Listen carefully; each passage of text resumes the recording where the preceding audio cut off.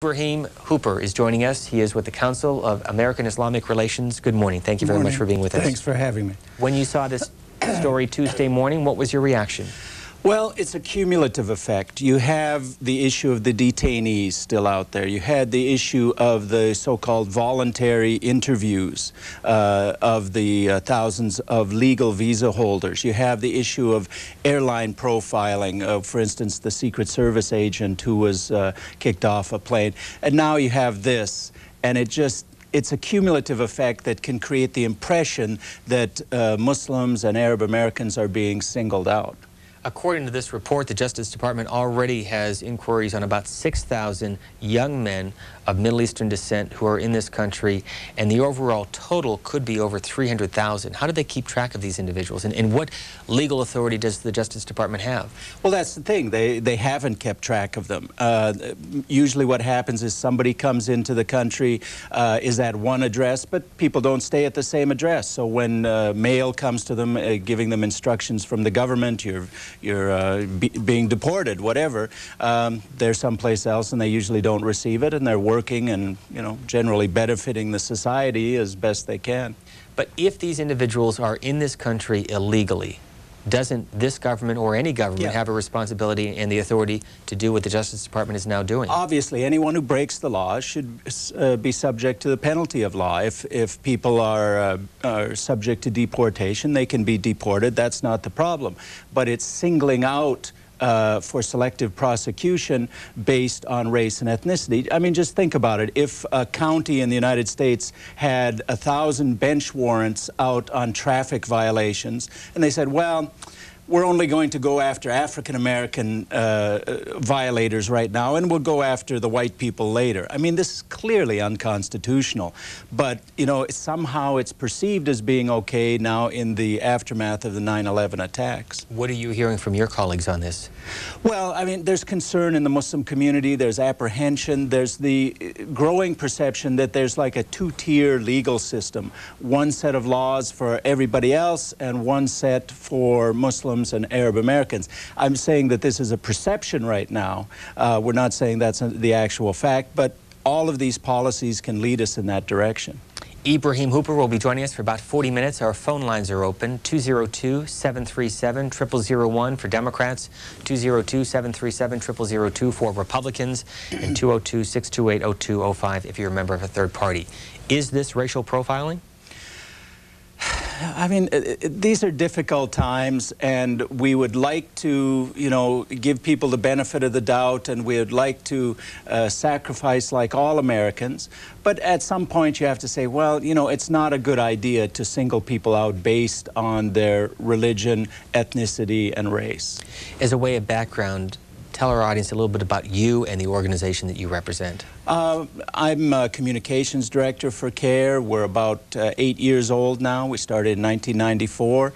Uh, we do a lot of anti-discrimination work, anti-defamation work. I mean, we've been called the Muslim NAACP to kind of put us in, the, in a certain category. How many members do you have and where does your money come from? Um, we're not really a membership organization. We're more of a service organization and our money comes from uh, donors, uh, private donors, no governments, anything like that. And how did you get involved with them?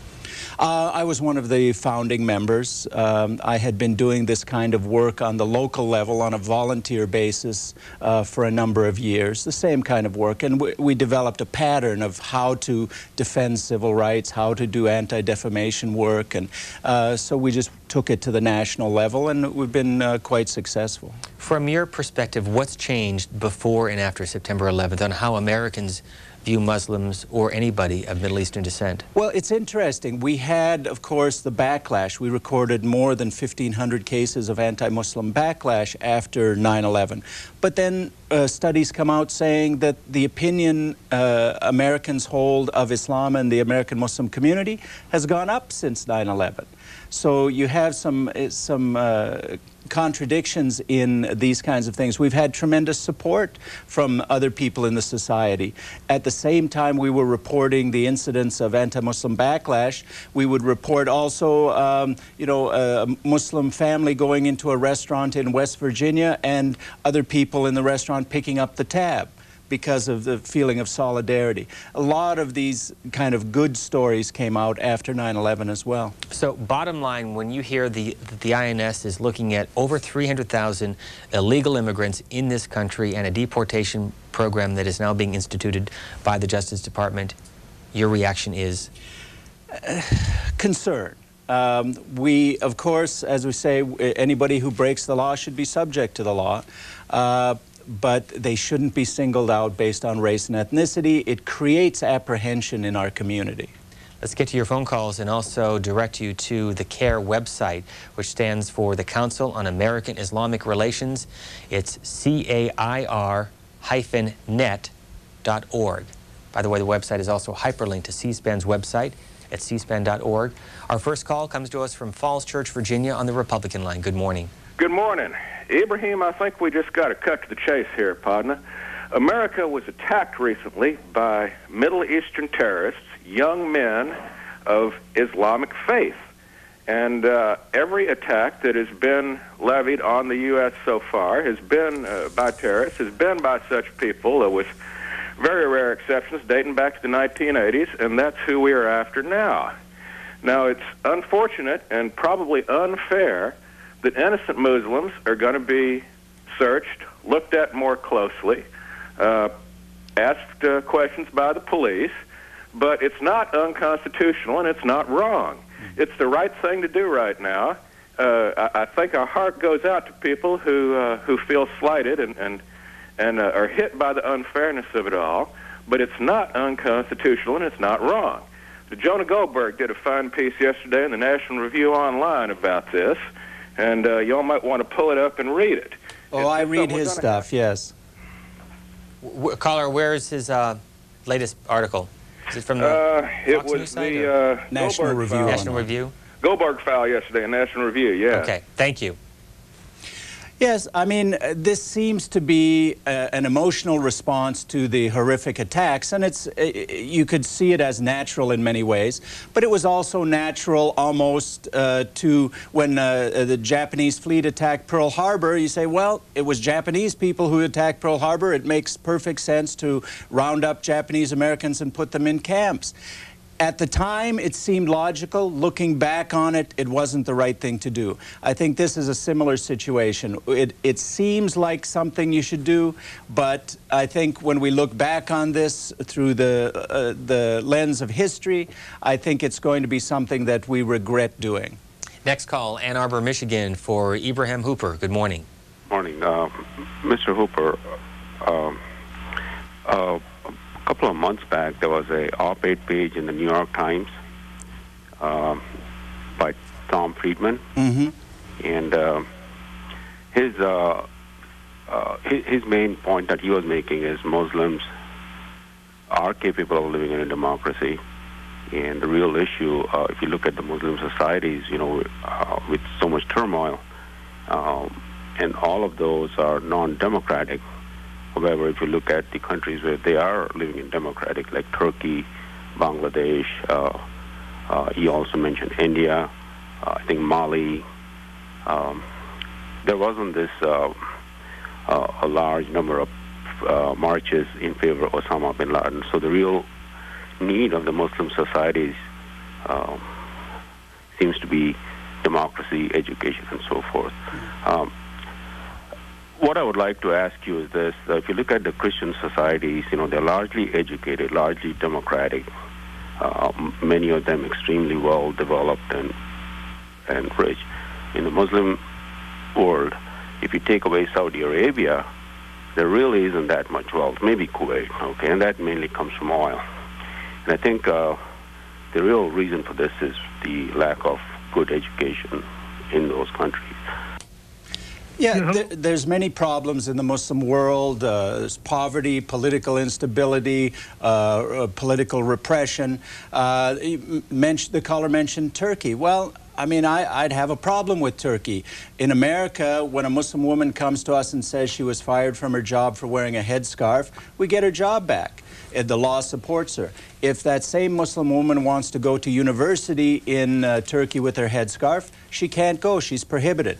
So even in countries that are being put forward as the model of democracy, there are real problems. Next call is from Brooklyn, New York. Good morning. Yeah, hi. Is that yeah yeah hi? Uh, listen, I just wanted to say to Mr. Hooper, uh, with respect, but I, I feel very disappointed, basically, in the Arab American community, and actually the Arab uh, community worldwide. I'm not an Arab American, by the way. I'm sorry. I'm not Arab American, by the way. Oh, I'm sorry, I didn't know. Yeah. Well, may I ask where you're from? I'm. Uh, my ancestors were French voyageurs and uh, immigrants from uh, Scotland. Oh, okay, but nevertheless, you seem to represent um, uh, certainly an, an Arab um, group. Muslim group. A Muslim group. I'm sorry. I, I, happen to be Jewish, and while I'm in the Jewish uh, uh, community, we tend to speak with subtlety and with caring about the Palestinians, uh, even in the West Bank. Subtlety and, and, caring about the Palestinians. Yes, and yes. Let me just make the statement, okay? Even the West Bank, and even and even if we happen to be um, very pro-Israel, I don't see the same type of uh, heart heartrending and decent feeling towards the Jewish people in the Middle East. It seems to me that any problem in the Middle East is always blamed on Israel. It could, uh, you know, for example, uh, in Kuwait, there was something like uh, 250 to 300 Palestinians thrown out of Kuwait after the um, 1991 war. 300,000, yes. Excuse me? 300,000, yes. 300,000. We don't hear much about that and much breastbeating about, oh, the poor Palestinians, and look what the Kuwaitis did to them, but somehow it's the Israelis, oh, what they did to the Palestinians. If the situation were reversed, I hate to think about the bloodletting that would happen to the Jews. Uh, as as you know, most of when the when the Palestinians have had problems in other countries, they have been massacred, and the Jews have done their best not to do that type thing. And I, I'd like to see, I'd really like to see you guys get up and protest very, very vociferously what happened to the Palestinians in Kuwait. And in fact, I'd like to see the Council on Arab American Affairs get serious, for example, very serious about what Muslims are doing to, say, the Sudanese uh, blacks. And I don't, I don't see you guys doing that. I'll stop you there. Thanks for the comments. We'll get a response. Well, actually, uh, perhaps we should consider why there were Palestinians in Kuwait in the first place, why there are Palestinians in uh, Syria, in Jordan, in Lebanon to be subject to uh, mistreatment. They're there because they were kicked out of their homeland. So that's the basic problem, and the, and the problem continues today in the form of the occupation. So these are the issues we have to deal with. And as far as Sudan, horrible situation in Sudan, civil war, uh, human rights abuses on all sides. Uh, to say that uh, uh, uh, some Sudanese are black and others are not, this is one of those myths that's been repeated often. any Sudanese of any type, northern, southern, if they walk down a street in America, would be regarded as African, African American. We're talking about an announcement earlier this week by the Justice Department uh, to begin questioning and begin the process of possi possibly deporting initially between 5 to 6,000 young men of Middle Eastern descent between the ages of 18 to 33 who entered the U.S. on non-immigrant visas and are now considered to be here illegally. Overall, an estimated 300 to 350,000 in this country of Middle Eastern descent that the Justice Department says could be here potentially could be deported, although they say that they're going to begin with this initial number of five to 6,000. That's what we're talking about. Next call is Jacksonville, Florida. On the Republican line, good morning. Well, good morning. Thank you for having me on. Uh, first of all, I will say this. I believe that anytime you take one select group, and that's the only group you're going to investigate, you stop prosecuting the guilty, you start persecuting the people. That's my first thought, I've been a Republican my whole life. I've also am an immigrant. I'm a naturalized citizen. So I know how hard it is to become an American citizen. And I truly believe that if you want to start dealing with this problem properly, you pass the Patriots Act that says if you're illegal, if you're a traitor, or if you're a criminal from a foreign country, you have no more rights in this country. What I strongly suggest is that they've got these 350,000 people who are here illegally. That our past expired visas and all other documentation. And this is the spectrum of the whole world, of all the people in this world that come to America. Put them in the New York Times on Sunday. List them all, the country they come from, and just say under the Patriots Act, if you support, harbor, or employ these people, you are breaking federal law and persecute them to the fullest extent. And I don't, I do mean persecute them because if you're not going to treat all people equal, you're just persecuting small people, not all the people. Thank you, caller. Albany, Kentucky on the Democrats line. Good morning. Good morning. Uh, I'd just like to ask your guest if these people have overstayed their visas, then how is it uh, unconstitutional to uh, to even profile them because they don't have any rights? Well, people always have rights to due process and to uh, international law, civil liberties, uh, norms. Uh, you always have these rights. Uh, and again, we go back to the example. Take away that they're Arab or Muslim. Uh, let's say they were African American. How would it sound if, uh, you know, the, there was a group of people who had committed crimes, but you were only going to go after the African Americans and leave the rest alone. That would strike people as being wrong. But somehow, because it has to do with Muslims and Arab Americans, you know, it seems to be something that is logical, and we just don't believe that's the case. There is this perspective from the Washington Times op-ed page, an editorial cartoon that has a reference to the Christmas Day event at BWI Airport that Arab American uh, Secret Service agent of Arab American descent who was questioned and then removed from that American Airlines plane. Paperwork? Question mark. Who needs paperwork? I'm a Secret Service agent. Can't you tell by my belligerent, hostile, loud, and abusive behavior? Yeah, I mean, this is an outrageous uh, cartoon. If you look at what he's holding, they, the cartoonist has him holding uh, what could appear to be a videotape, and on it, uh, I, I, called an Arabic speaker this morning, and it says something to the, ex, uh, the effect of exclusive to Al Jazeera, the uh, network uh, cable or the satellite network in Qatar. And they tell me this was often labeled on tapes that came from Osama bin Laden. So I hope the implication here isn't that this uh, agent is somehow uh, related to Osama bin Laden. I mean, that would be completely outrageous. But the Washington Times has a history of this kind of uh, defamatory attacks on Muslims and Arab Americans. There were, according to some reports with this particular case, this Secret Service agent who did have a book of Middle Eastern history in his briefcase. He did have a gun. There's a question about whether or not he initially identified himself as a Secret Service agent. Where yeah. do you think this is going to lead? I, I mean, uh, he was doing something that hundreds of law enforcement officers do every day. They travel on planes uh, armed. There's procedures for it. Uh, he did all the paperwork. He did it a number of times, in fact. Uh, he jumped through all the hoops, and this wasn't sufficient. And the, the book they found, The Crusades Through Arab Eyes, it's a college textbook. I was assigned it myself in courses on Middle Eastern history. Uh, and if I go on a plane and I want to read my Quran, am I going to be thrown off because it's a suspicious book. I mean, it's ridiculous. Our email address is journal at cspan.org. If you can't get through on our phone lines, we encourage you to uh, send us your comments or questions. We'll get to them, including this from Dave White. I would like to hear Mr. Hooper say that he condemns the radical fundamental Muslims who support the terrorists who attacked the U.S., Israel, and Europe. I uh, condemn the radical fundamentalist terrorists who attacked innocent civilians in uh, any place in the world.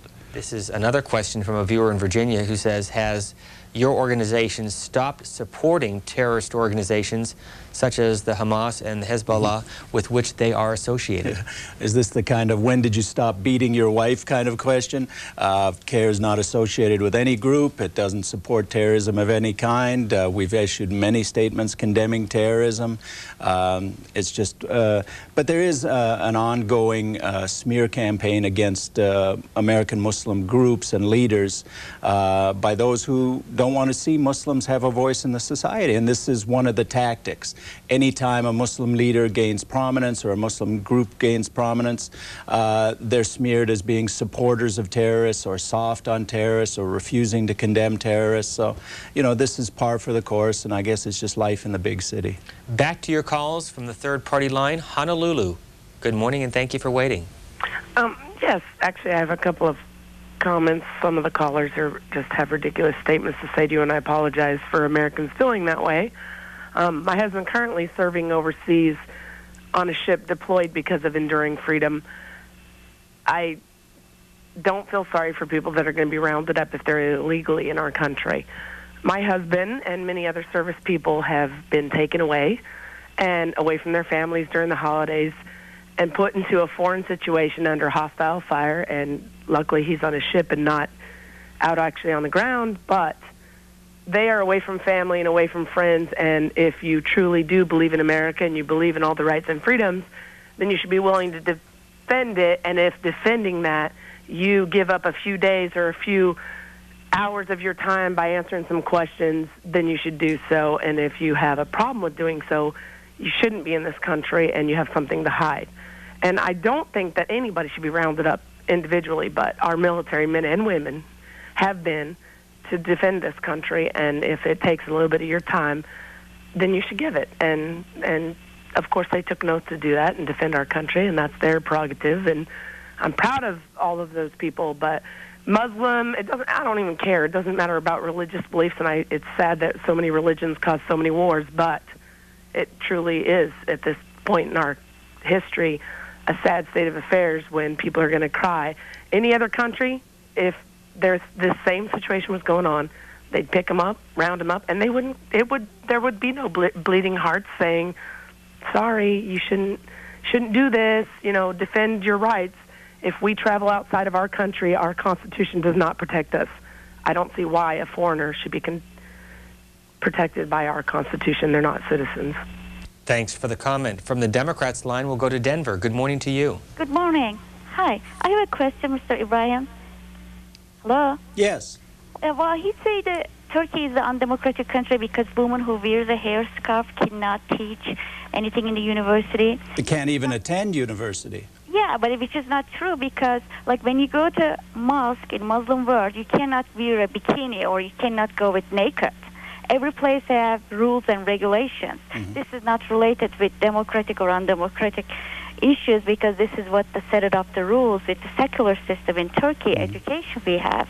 And of course, we cannot go to university with bikini or with the headscarf, which is Well, I hesitate to uh, compare the headscarf to the bikini, and the it's like in this country, um, it- everyone has the right, for instance, in the workplace, to religious accommodation unless it creates an undue hardship on the employer. And I think that same standard could apply worldwide. What kind of hardship, what kind of negative impact could the mere wearing of a headscarf have uh, for a university student in Turkey? Uh, it's just anti-religious uh, uh, bigotry that goes on in Turkey. If you've just joined us, we are talking with Ibrahim Hooper, who is the communications director with an organization called the Council on American Islamic Relations. It's been around since 1994. He is one of the founding members of this organization, and we're talking about the issue of the deportation of Middle Eastern immigrants. New action by the Justice Department announced earlier in the week. Our next call comes to us from New York City. On the Republican line, good morning. Good morning. Uh, let me first of all disagree with the not the last caller, but the one before that, when she said uh, immigrants shouldn't have constitutional rights or, or alien um, aliens shouldn't have constitutional rights. Constitution is for human rights, not just Americans. Uh, but in any event, uh, I have to disagree with you with the position you're taking, essentially that we shouldn't be looking more closely at Muslim Americans or Middle East. I'm sorry, Middle Eastern Muslims. Uh, that's nonsense. We're at war with groups that are predominantly, vastly more Middle Eastern Muslims than any other group. Uh, the the terrorist acts that have been committed against us are being perpetrated by Middle Eastern Muslims. Um, you keep also saying Muslim Americans or Arab Americans. That's not who's being targeted in most of this. Um, the people, the detain, excuse me, I'm sorry, the detainees uh, are all either in violation of immigration law or have actually committed felonies. The people who uh, we're, we're trying to find Actually, we don't know what uh, much about the detainees to make that determination. They're not releasing uh, those kinds of facts. There's not a single instance yet of, of anyone claiming they were detained without some sort of legal basis. Oh no, I can bring you many instances of that. We get them all the time. Uh, of, of people, fine, bring a lawsuit. I, I, I mean, I haven't seen one credible piece of evidence that anyone who's being detained right now is being detained solely because they're a Middle Eastern Muslim. And, and they are not in any violation of any immigration laws. Uh, the, the last thing, the, the, the voluntary, uh, asking people to come in and voluntarily uh, talk to, to uh, authorities. I have no problem with that either. Uh, we, we're taking political correctness to an, Mm-hmm. a ridiculous extreme when we say that we ought to be looking at everyone equally, even though we know that the terrorist groups are Middle Eastern Muslims. They are not. let me give you a profiling scenario. You have three people that you can profile Richard Reid, John Walker, and the Muslim Arab American Secret Service agent. Now, according to uh, the unwritten rules of profiling, which one are you going to profile? You're going to profile the only one who's going to be of benefit to the safety of an airplane, and the other two are going to get a pass. So, I mean, profiling isn't effective. Uh, it doesn't work, and it and it creates a false sense of security that leads you to ignore other means that are effective. For instance, baggage matching on airlines. It's difficult to do. It's time-consuming. Airlines don't want to do it, so instead they take the easy way out and do profiling that doesn't work. Next call, Arlington, Virginia. Good morning. You're on C-SPAN. Hi, how you doing today? Um, I'm just calling because I, I have been listening very carefully, and I'm defending this gentleman because. Thank you. I hope somebody does. Okay, look, because I'm just trying to say this very clearly. After Oklahoma City bombing, we didn't round up all the militias. After Waco, we didn't go out and round up all the militias. Um, um, when Sinn, Sinn Féin, they have bombs and things of, of that nature over there in Ireland, we don't go up and round off all the Irish people because we know it's not right. And we just recently we had a case in Los Angeles uh, where the Jewish Defense League was going to bomb a mosque and an Arab American legislator. Uh, we haven't profiled middle-aged Jewish guys, which I don't think we should, uh, but it just shows you uh, the difference in approach uh, for different incidents. Because I agree with you 100%. I just wanted to call in and say that, so please keep up the good work. Thank you. More emails. First of all, for our guest, Mr. Hooper, please be kind enough to stop using the term Arab American for those who are targeted for deportation. Not one is an American. They are criminals who have been ordered deported by the courts. Facts are facts. A real American would never defend these criminals, but would help to find them and get them out of this country. Well, that kind of falls into the uh, America love it or leave it category. And I mean, again, these are emotional times. We get these kinds of messages all the time. I, I will admit that many of our positions are not popular, but defending civil rights is often unpopular. It was unpopular uh, in the beginning of the civil rights era for African Americans, it was unpopular for, for Japanese Americans. It's often not the majority opinion, but that doesn't stop us from defending civil liberties. Another email, and by the way, if you send us an email, if you can tell us where you're from, that would give us some perspective on uh, what part of the country you are emailing us from. This from a viewer who says, Can you tell us when and where CAIR officially and publicly condemned the atrocities of September 11th? Where is the record of your condemnation? Well, people can go to our website, uh, www.cair-net.org, and the condemnations are there. I mean, I, in fact, uh, as the events were unfolding on September 11th, I was uh, drafting the statement of condemnation in anticipation of, of this kind of thing, uh, recalling the uh, incident in Oklahoma City. Uh, and I was uh, drafting at our offices near Congress as they were saying that a plane was headed towards Congress. Uh, so uh, every American Muslim organization has condemned it, condemned it repeatedly, condemned it in the strongest terms without qualification.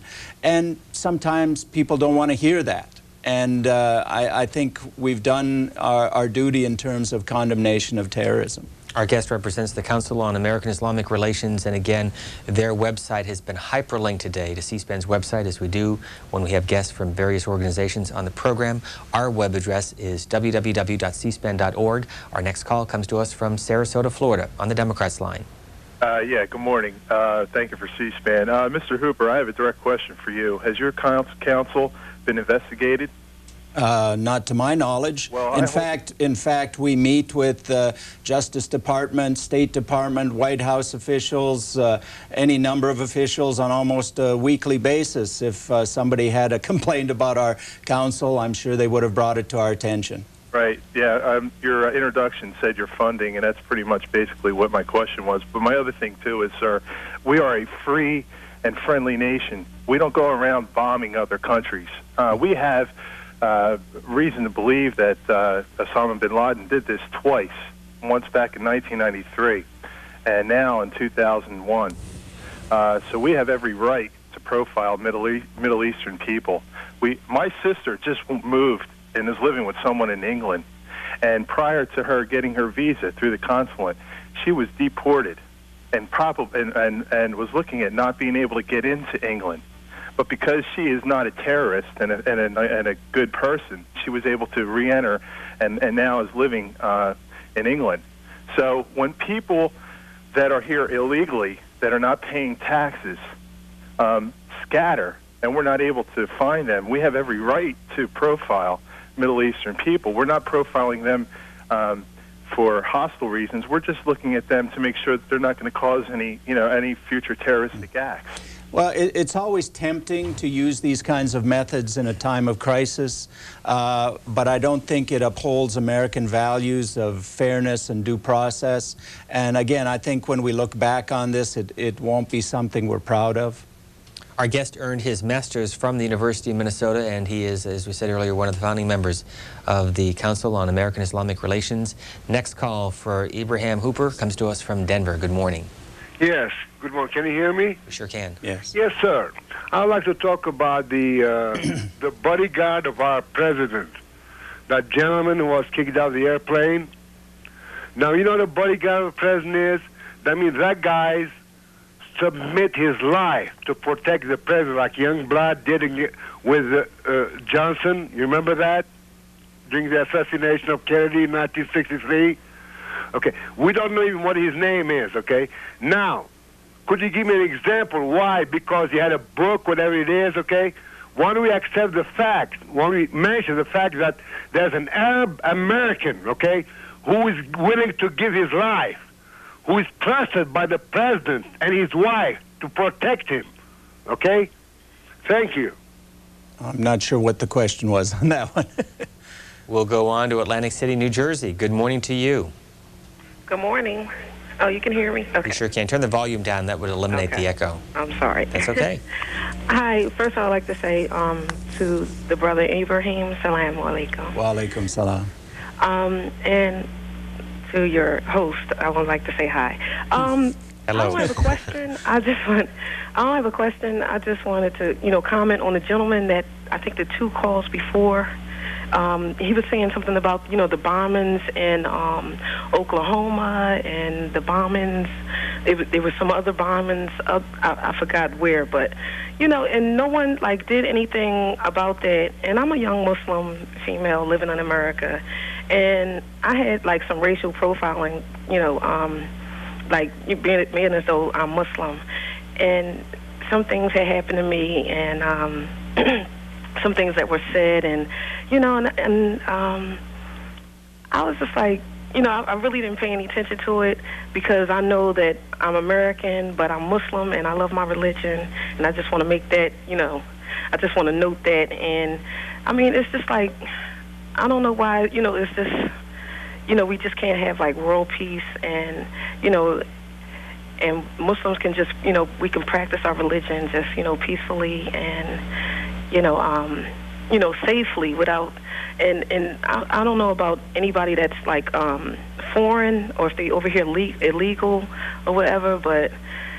um, I just say, you know, I I thought that America, you know, was for the land of, you know, the land of the free, or you know what I'm saying. So I don't know what the big fuss is. I I just think that everybody should just live peacefully and just live out their lives, you know. Thank you, caller. Uh, I wanted to make a point. Uh, sometimes we end up talking about negative things uh, quite often, but it should be known that America is one of the best places uh, to be able to practice the faith of Islam. We're free here to, to be Muslim as we aren't in many parts of the Muslim world, as we uh, talked earlier about Turkey or Tunisia or Algeria or places like this.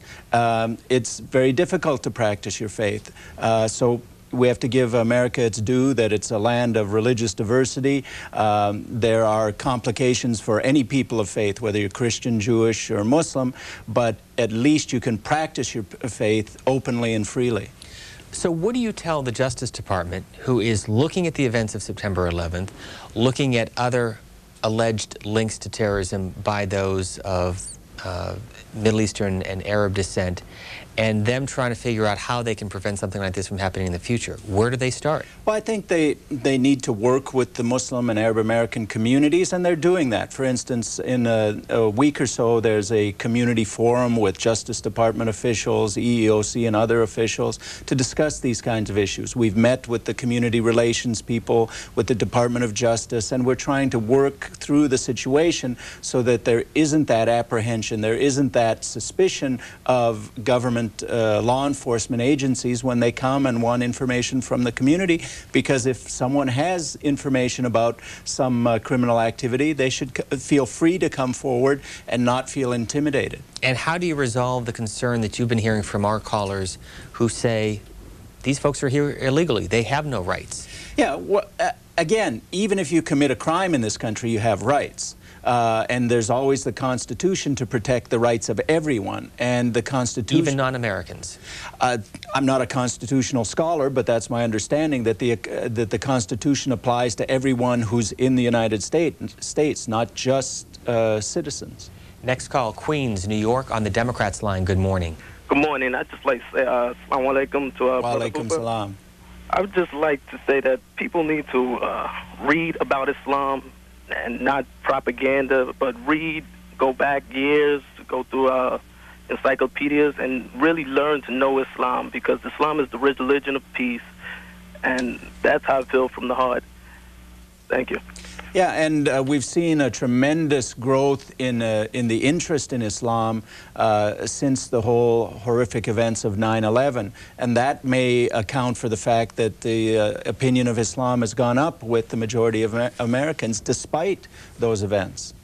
Our last call for our guest comes to us from Cleveland on the Republican line. Good morning.